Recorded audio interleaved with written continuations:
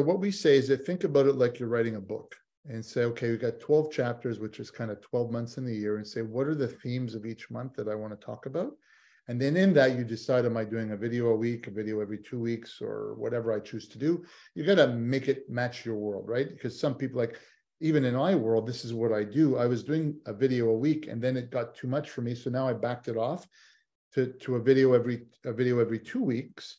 And now I can actually do that realistically. And I'm and I'm finding it, I'm not finding that much of a difference. So it's good because I'm doing other things. That consistency though, I've got, you know, 50 videos I've done this year.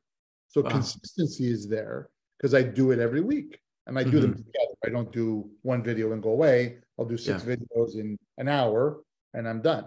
Yeah. You know, two minutes each and you you go off because you know your content. You're an expert yeah. in your business, you're an expert in you. And that's yeah. what we do. It's so much fun when you get past the fear. There is fear. Yeah. You got to get past it.